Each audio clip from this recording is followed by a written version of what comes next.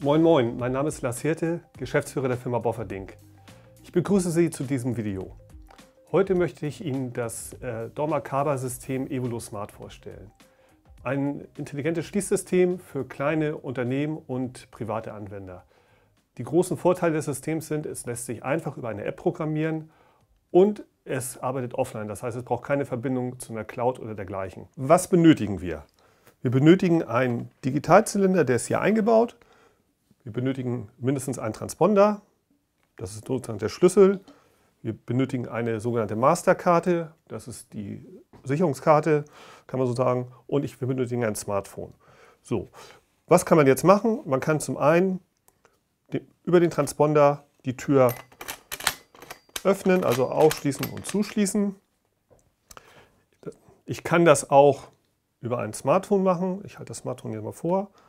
So, kuppelt auch ein. Jetzt kann ich auch aufschließen und zuschließen.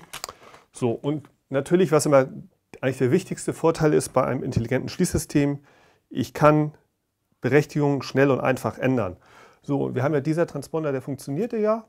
So, und jetzt werde ich mal Folgendes machen. Jetzt werde ich den einfach mal, dem werde ich die Berechtigung entziehen. So, jetzt brauchen wir einmal die Masterkarte. Jetzt halten wir den einmal, das haben wir einmal vor den Zylinder. Jetzt werden die Daten übertragen, die Änderung. So, weiter. So, und wenn alles funktioniert hat, wovon ich fest ausgehe, dann dürfte der jetzt nicht mehr funktionieren. Und siehe da, blinkt rot, kann nicht mehr funktionieren. So, das war jetzt ein Schnelldurchlauf über die Möglichkeiten, die ich mit dem System habe.